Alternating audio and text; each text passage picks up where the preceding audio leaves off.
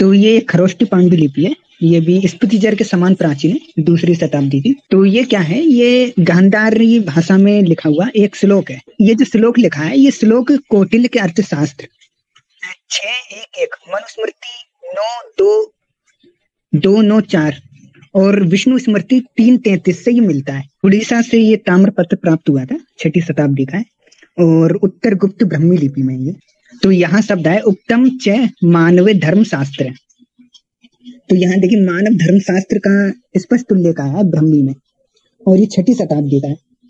तो इससे पता चलता है कि जो कहते हैं मनुस्मृति, ये सब ग्यारहवीं शताब्दी, बारहवीं शताब्दी में बना दी जैसे फ़िलहाल एक उल्लेख नहीं है मनुस्मृति का, इधर उल्लेख नहीं है।